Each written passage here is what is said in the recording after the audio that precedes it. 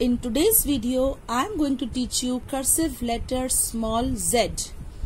आप देखेंगे slanting line छोटी सी बनाना है और उसको लेफ़्ट हैंड पे टर्न करके नीचे लाना है और लेफ़्ट हैंड से ऊपर स्लैंट बनाना है। फिर से देखेंगे एक छोटी सी स्लैंटिंग लाइन जिसे हमने कर्व दिया। लाइन पर टच करके उसको हमने छोटा आकार उल्टा जो छोटा आ बनता है उसका आकार दिया। और ऊपर ले जाके हमने एक स्लैंट छोड़ दिया।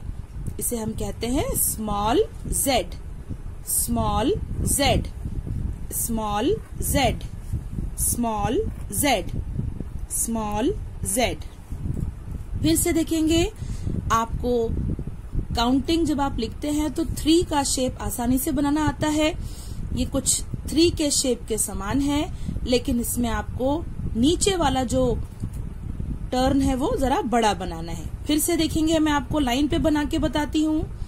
ये आपने फ़र्स्ट वाला सेमी सर्कल और ये सेकेंड वाला थोड़ा बड़ा बना के ऊपर स्लैंटिंग लाइन लाके छोड़ना है। फिर से बनाएँगे। दिस इज़ स्मॉल जेड आपको अच्छी तरह अभ्यास करना है स्मॉल जेड लिखने का। आपका होमवर्क है, इसका अभ्यास टू पेजेस में करेंगे। टू पेजेस प्रैक्टिस करने के बाद आपका जो नेक्स्ट स्टेप होगा, वो है तीन जेड की आकृतियों को एक साथ मिलाकर लिखना। हम देखते हैं कि किस प्रकार हम शुरुआत करेंगे। ये आपका फ़र्स्ट जेड इसी को ऊपर लेके जाना है और ये दूसरा जेड और ये तीसरा Z.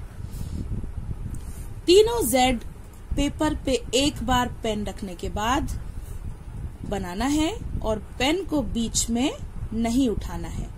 This is your small z small z small z small z practice nicely जब आप अभ्यास कर रहे हो, उस समय पेन को थाम कर लिखना है। बार बार इस चीज़ पे ध्यान देना है, लाइन खींच के चेक करना है कि तीनों आकृतियाँ एक बराबर हैं या नहीं। तीनों आकृतियों में जो क्रॉस हो रहा है, जो स्लेंटिंग लाइन जेड को बनाकर क्रॉस हो रही है, वो एक साइज़ में है या नहीं, इसको लाइन खींच के हम चेक करते रहेंगे। यदि ऐसा नहीं होता तो आपको अभ्यास की और आवश्यकता है, और प्रैक्टिस करेंगे because practice makes a man perfect आपका होमवर्क है जेड की आकृति तीन बार जो मिलाकर लिखना है, उसको आप दो पेजेस अच्छी तरह लिखने का अभ्यास करेंगे।